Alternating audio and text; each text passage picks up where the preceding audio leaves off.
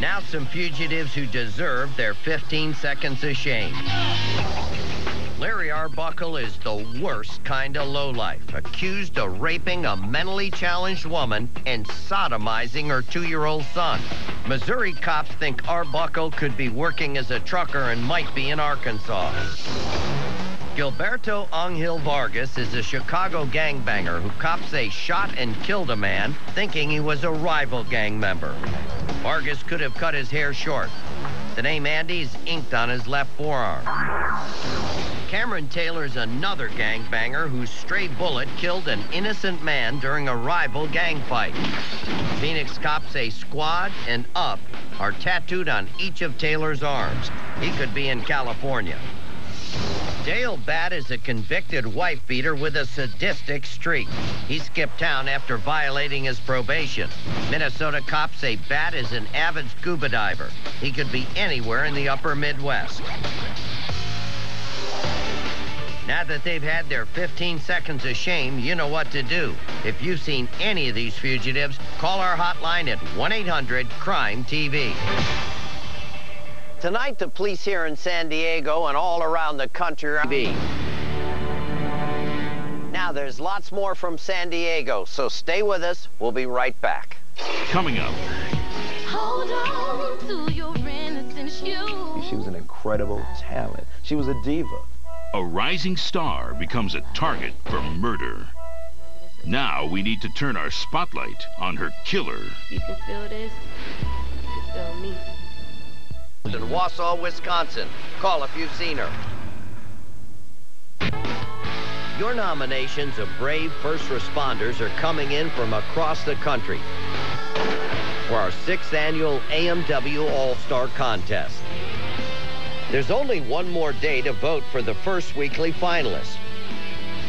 Tune in next week to find out who it is. Voting for our second weekly finalist begins Monday. Remember, you can vote once a day, every day. In May, you'll choose one of the eight weekly finalists as the 2010 AMW All-Star. I'll meet the winner at the NASCAR Sprint Cup Series All-Star Challenge in Charlotte, North Carolina. Do you know a heroic first responder? Well, you can nominate them at amw.com. Just tell us who they are and why you think they're an all-star. Remember, voting for our first weekly finalist ends tomorrow at midnight. So log into amw.com and make sure your favorite hero gets the recognition an all-star deserves. Hold on to your innocence, you.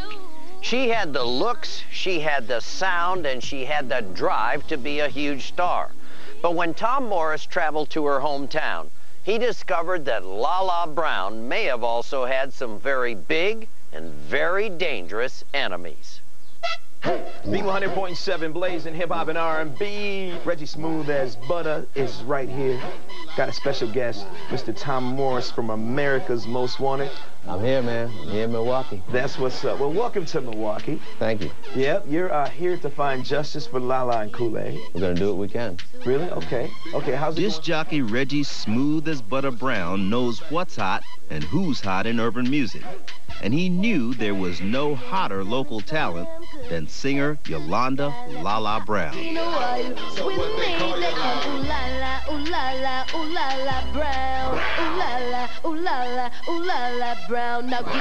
The first time Reggie heard Lala Brown sing a note, he knew she was a star waiting to shine. in the city like the Yeah, she was way ahead of herself.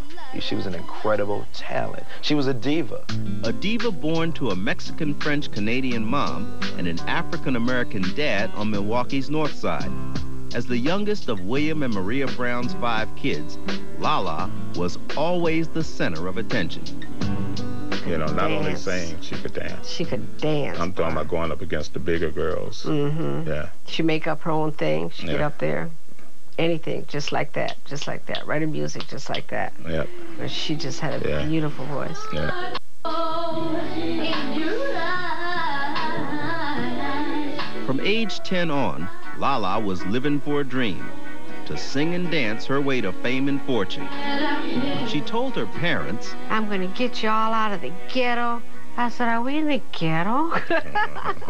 I said, I know we was in the ghetto. she yeah, Mama. She said, you're going to be in big mansions and you're going to have a butler and a maid. And I said, well, go, girl. Let's do this.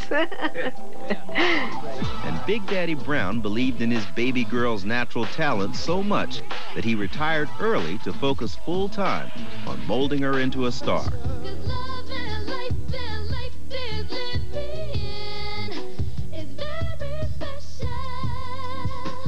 When she was 19, all of that hard work paid off. She caught the attention of neo soul singer Lyfe Jennings and auditioned for him. That led to a red-hot hit single. Hold on to your innocence, use your common sense, your worth, your worth. The song, SEX, exploded onto the airwaves in October 2006 the petite stunner from Milwaukee was suddenly all over radio and TV coast to coast. When we heard that song, we just knew she was gonna blow up. But that success was short-lived. Lala ended up back in Milwaukee with no money and no record deal. But Lala Brown wasn't about to give up her dreams of fame and fortune. She teamed up with the hottest homegrown music producer in the Brew City, JeTannue Kool-Aid Clayborn. They called him Kool-Aid because of his big, wide smile. He was across the board talented from anything house, club music, R&B, hip hop, gospel, you name it, this kid could do it. That's always a good sign. If you're feeling good. JeTannue was a type of trendsetter. He was a go-getter. He wanted to make sure his life meant something, and he started becoming more of an entrepreneur and thinking that way when he was about 16, when it really set into him that I'm going to make something of my life, and he was determined to do it with music. Kool-Aid was running his own recording studio, Loud Enough Productions. The ambitious 22-year-old musician had saved and scrounged to build it up slowly, piece by piece, with his own hands. And he literally lived there 24-7. He lived for music. Music was his life. Lala's music collaboration with Kool-Aid soon led to romance, and she moved into the studio with him. The talented duo worked day and night laying down hot urban tracks that they believed would land them a major label contract. But on the evening of October 19, 2007, everything suddenly changed. Relatives were concerned because nobody had heard from Kool-Aid or Lala in several days, and that just wasn't normal. So Kool-Aid's brother Anthony broke into the locked studio to check on it. I kicked in the door. It was an awful smell, you know. Um, went to the back room. That's where they lay. That's where we found them. Lala Brown and JeTannue Clayborn had been shot to death. In an instant, two lives and their dreams had ended in a surreal nightmare of violence. I said no, no. I said no. this can't be. We believe that uh, Lala and Kool-Aid actually knew the perpetrator. There were no signs of forced entry, and evidence uh, recovered from the scene uh, revealed that the uh, that the perpetrator uh, did not force his way into the building. Hi, V100. Yeah, V100. I, I, got a question for um, got from, um, Mr. Tom Morris. Yes. Say hi to him. How you doing, Mr. Morris? What's up, man? How you doing? Uh, got a question. Um, as far as um, Lala and um, Kool-Aid, um, do y'all have any like possible leads or you know, as, any motives as to why such a tragic thing what happened?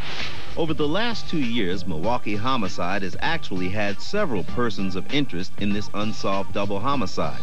Most are dudes from the hood who were rumored to have petty beefs with Kool-Aid over his studio, equipment, or debts. But nothing solid enough to back up an indictment so far. Another V100 caller told me that Lala and Kool-Aid had been to see their mutual friend and hairstylist the Saturday before they were killed.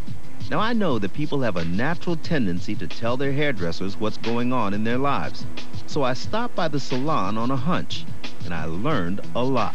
Um, Kool-Aid, he was usually his little upbeat self, but Lala, she was, you could tell something wrong with her. She was like, uh, she was getting like phone calls, threatening phone calls, and people hanging up and stuff like that. And Threatening whereas, her life? Threatening her life. But she didn't say who? She didn't say who. Or if it was a male or female, she never said. And she was actually asking if anybody knew any, you know, apartment listing because she wanted to move from the studio where they were living in. She wanted to move right away because she felt threatened for her life. But she said that three days before she died. Who had threatened Lala's life is a big part of this mystery. When you lose a child, it cuts your heart. You know, it's it's hideous. You know, it's like one minute I'll be smiling, and the next minute I feel like I, I can't walk. Hey Milwaukee, this is your girl Lala Brown, and you're checking out Reggie Smooth as Butter Brown on V100.7, the number one hip hop and R&B station. Wow, La La Brown, we miss you, baby. God bless you. Rest in peace. Let's find justice for La La and Kool-Aid. Now, as you saw, Tom learned that Lala was receiving threatening phone calls in the days before her murder. And here's something else. The night before Lala and Kool-Aid were killed, Kool-Aid Studio was robbed of $10,000 worth of equipment. Now, we don't know if the robbery and the murders are related, but somebody out there knows exactly what went down there. If that's you, please have the courage to call our hotline tonight. These murders need to be solved, and if you're afraid, I promise you, you can remain anonymous. I guarantee it.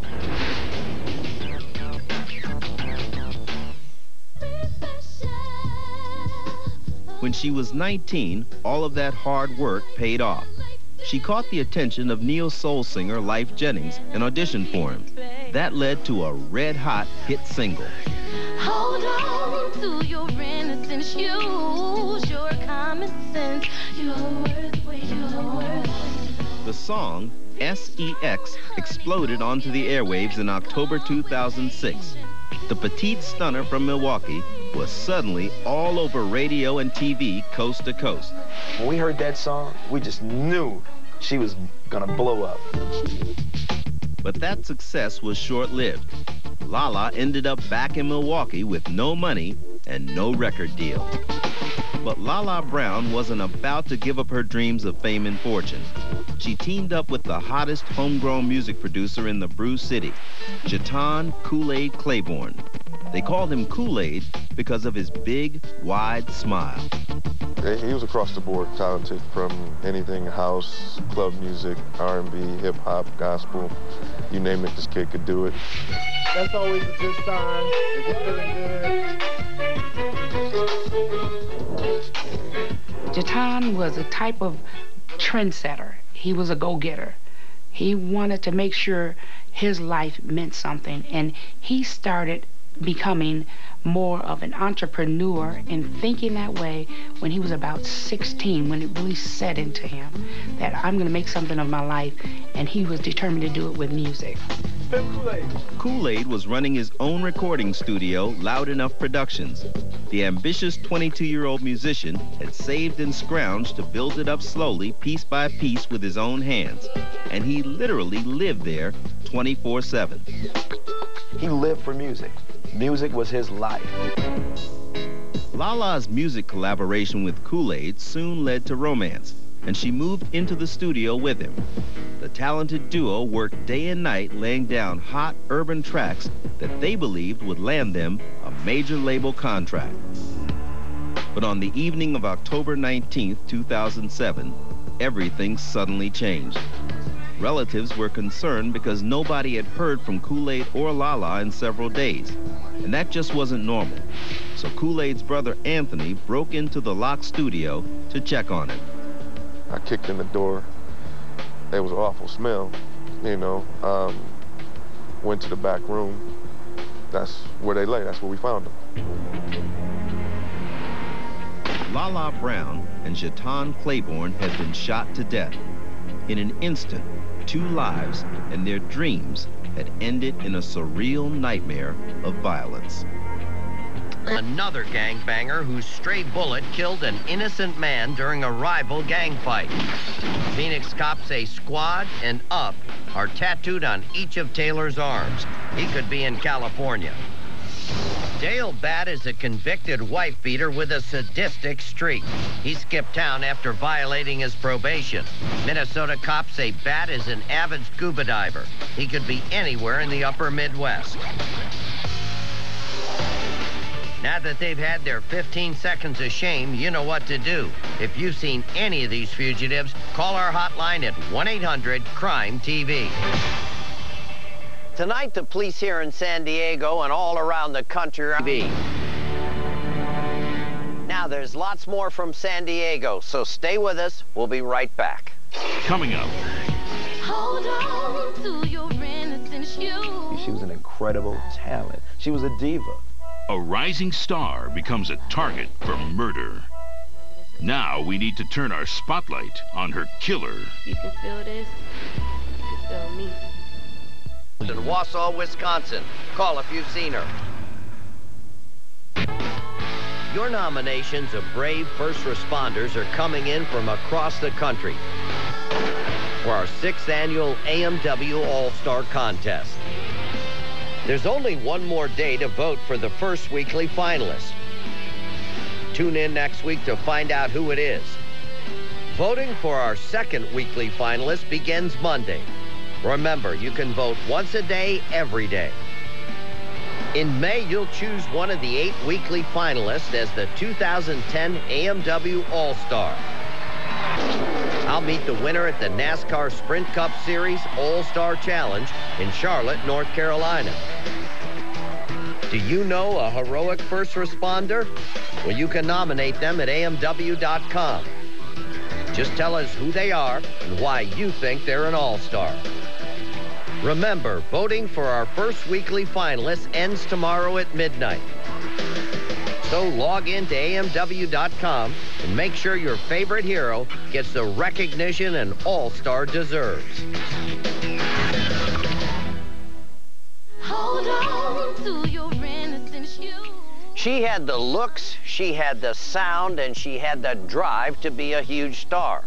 But when Tom Morris traveled to her hometown, he discovered that Lala Brown may have also had some very big and very dangerous enemies. V100.7 blazing hip hop and R&B. Reggie Smooth as butter is right here. Got a special guest, Mr. Tom Morris from America's Most Wanted. I'm here, man. I'm here in Milwaukee. That's what's up. Well, welcome to Milwaukee. She had the looks, she had the sound, and she had the drive to be a huge star. But when Tom Morris traveled to her hometown, he discovered that Lala Brown may have also had some very big and very dangerous enemies. V100.7 blazing hip hop and R&B. Reggie Smooth as butter is right here. Got a special guest, Mr. Tom Morris from America's Most Wanted.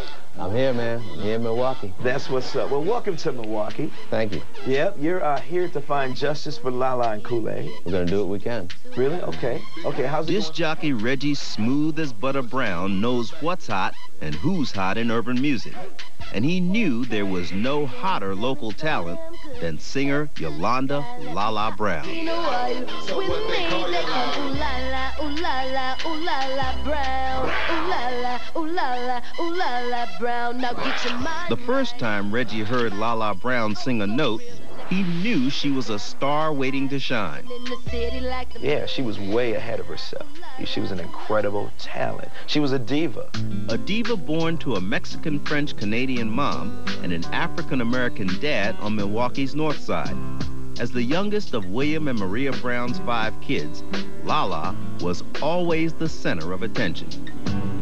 You know, not only Dance. sing, she could dance. She could dance. I'm talking about going up against the bigger girls. Mm-hmm. Yeah. She make up her own thing. She get up there. Anything, just like that, just like that. Writing music, just like that. Yep. But She just had a Yeah. beautiful voice. Yeah. in your eyes. From age 10 on, Lala was living for a dream to sing and dance her way to fame and fortune. She told her parents, I'm gonna get you all out of the ghetto. I said, are we in the ghetto? I said, I know we was in the ghetto. she yeah, Mama. She said, you're gonna be in big mansions and you're gonna have a butler and a maid. And I said, well, Go, girl. Let's do this. And Big Daddy Brown believed in his baby girl's natural talent so much that he retired early to focus full time on molding her into a star.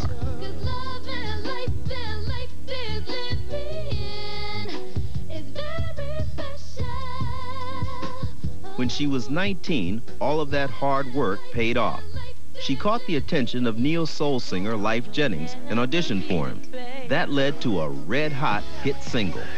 Hold on to your innocence. Use your common sense. You're worth what you're worth. The song, SEX, exploded onto the airwaves in October 2006. The Petites